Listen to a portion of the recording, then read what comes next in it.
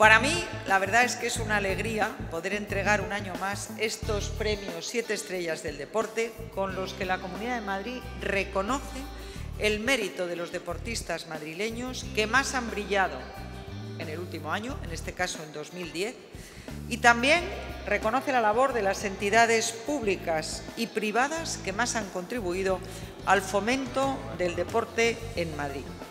Los galardones que hoy habéis recibido son muy especiales para nuestra comunidad porque sabemos, somos conscientes del sacrificio inmenso que exige triunfar en cualquier disciplina deportiva y porque sabemos lo beneficioso que es para los madrileños el trabajo y las iniciativas que promueven el deporte.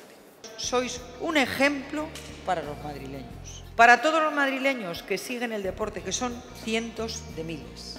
Y yo quiero animaros a que continuéis coleccionando estos éxitos porque vuestros triunfos son un ejemplo, un honor y una alegría para toda la Comunidad de Madrid. Muchísimas felicidades y mucha suerte. Muchas gracias.